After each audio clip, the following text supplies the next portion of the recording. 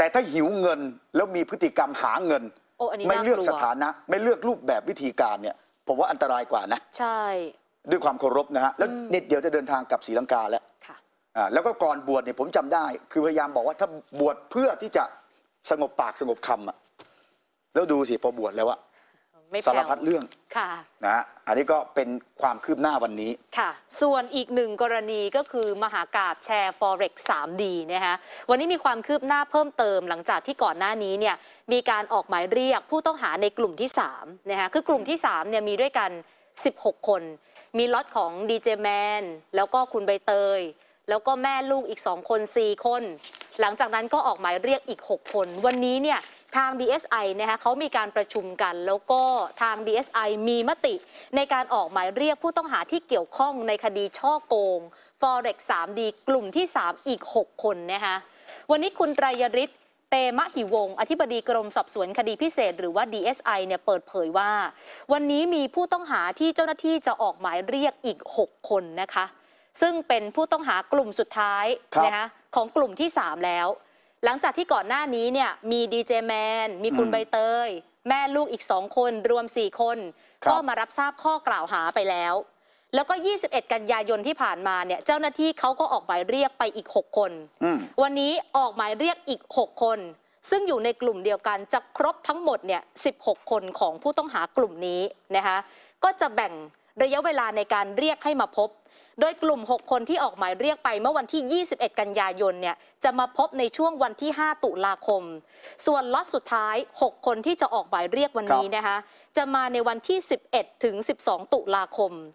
วันนี้ทางด้านของร้อยตำรวจเอกวิษณุฉิมตระกูลนะคะผู้อำนวยการกองคดีธุรกิจการเงินนอกระบบเนี่ยมีการให้ข้อมูลที่น่าสนใจ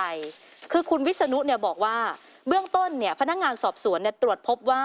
มีผู้เสียหายเข้ามาให้ข้อมูลที่เกี่ยวข้องกับคุณกระทิง ซึ่งเป็นดารา อันนี้คือในส่วนของคดีช่อโกงนะคะแล้วก็มีคดีที่เกี่ยวข้องกับการฟอกเงิน แยกเป็นอีกคดีหนึ่ง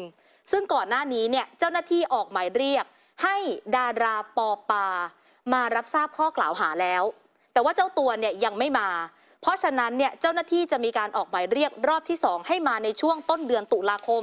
ซึ่งถ้าเกิดว่ายังไม่มาก็จะต้องออกหมายจับฟังเสียงเพิ่มเติมค่ะส่วนของกระทิงเราเรายังไม่ได้เชิญครับ เราจะเชิญผู้เกี่ยวข้องตามที่ผู้ร้องนะครับ ผู้ร้องได้ร้องเข้ามา แล้วก็ได้พูดถึงว่า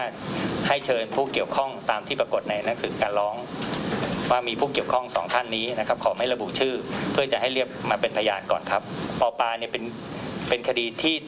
เกี่ยวเนื่องเกี่ยวพันกับคดีมูลฐานในสามความผิดแรกจะไม่เกี่ยวจะจะไม่ใช่คดีสามความความผิดนั้น แต่เป็นคดีฟอกเงิน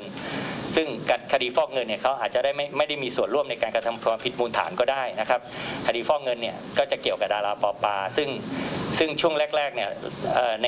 พนักงานสอบสวนชุดก่อนเนี่ยได้เคยมีหมายเรียกไปครั้งหนึ่งแล้ว แต่ติดเรื่องสถานสถานการณ์โควิด เรา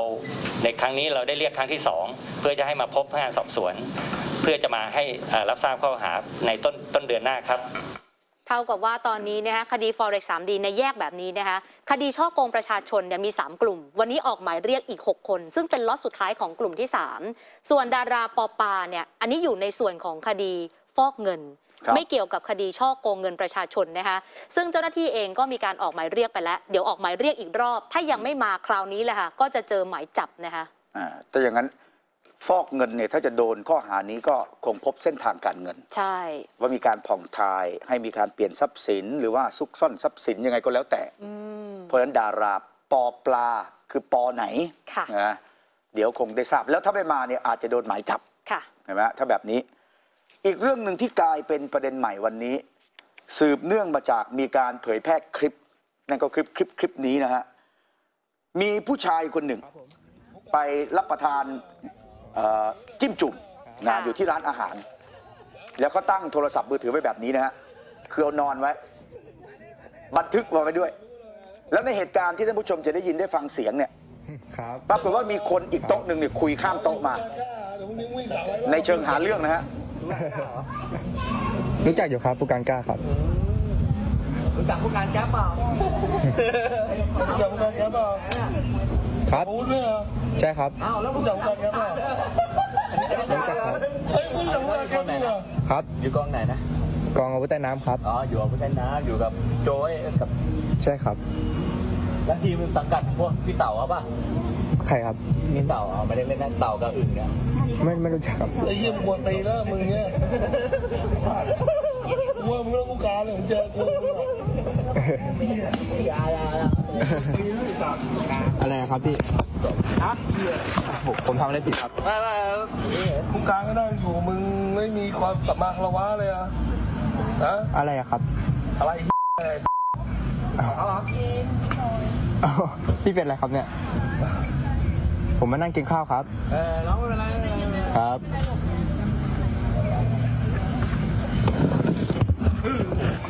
ไม่ใช่ มึงรู้ว่ามึงนั่งเนี่ย มึงอยู่สาวุธไหมเหรอ ใช่ครับ แล้วมึงรู้ว่าใครนั่งอยู่นู่นอะ ไม่รู้ครับ ฮะ ไม่รู้ครับ ไอ้การเขานั่งอยู่ มึงรู้จักกับผู้การสาวุธอะเอ้าผมก็ครับไปดีครับแล้วไงครับ ฮะ มึงกวนตีนนี่หว่า ผมกดติดอะไรนะครับพี่ เหรออะไรครับ เอ้าอะไรเหี้ยอะเอ้าทำไมทำไมทำไมยั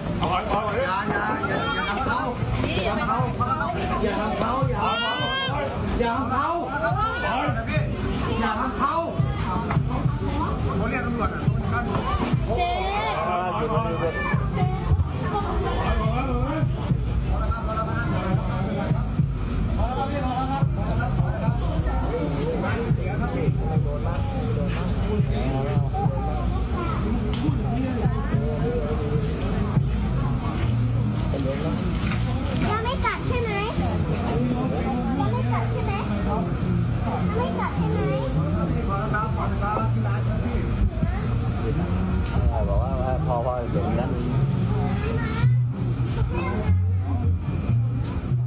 นี่คือคลิปเหตุการณ์ที่มีการบันทึกเอาไว้นะฮะค่ะแล้วก็กลายเป็นที่มา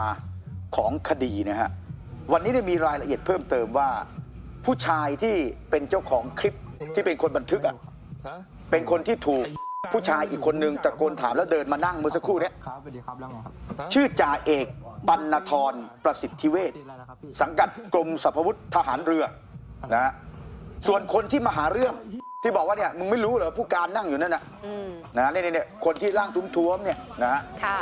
คนเนี้ยทราบชื่อในภายหลังว่าฉายาก็คือบอยสัตหีบ ตอนแรกมีเสียงตะโกนข้ามโต๊ะมาก่อน สอบถามว่ารู้จักผู้ใหญ่หรือเปล่ารู้จักผู้การคนนั้นคนนี้หรือเปล่า แล้วจากนั้นก็ปรากฏอีกทีหนึ่งก็มาประชิดแล้วประชิดแล้วก็เริ่มคุกคามแล้วค่ะนะฮะแล้วก็บอกว่าเนี่ยมึงไม่รู้เหรอเนี่ยผู้การนั่งอยู่นั่นอ๋อแล้วทำไมอย่างที่ท่านผู้ชมได้เห็นเมื่อสักครู่ค่ะกลายมาเป็นประเด็นฮะ แล้วก็มีข้อมูลเพิ่มเติมก็คือว่า มีอีกสองคนเนี่ยไปรุมทำร้ายเขาด้วย ไปรุมทำร้ายจ่าเอกปัณธรเนี่ยค่ะ นะคนที่นั่งรับประทานหมูจิ้มจุ่มอยู่ที่ร้านอาหารโรงลาบนะฮะเจ้าตัวเนี่ยให้ข้อมูลกับสื่อมวลชนเพิ่มเติมนะฮะเจ้าตัวเนี่ยบอกว่าวันเกิดเหตุเนี่ย อ่าเป็นวันที่เจ้าตัวไปรับประทานอาหาร แล้วอยู่ๆก็มีเหตุการณ์นี้เกิดขึ้นช่วงค่ำวันที่ 27 กันยายน ก็คือค่ำวันนี้อืมค่ำของวันที่ 27 กันยายน แล้วก็บ่ายวันนี้ครับจ่าเอกปัณธรอ่าได้เดินทางเข้าไปนะฮะพูดคุยที่สพสัตหีบนะฮะช่วงบ่ายที่ผ่านมา และนี่ฮะเจรจาพูดคุย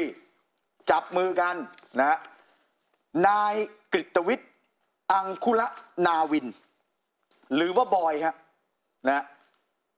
เดินทางเข้าไปพบปะไกลเกลี่ยต่อหน้าสารวัตรสอบสวนสพสัตหีบ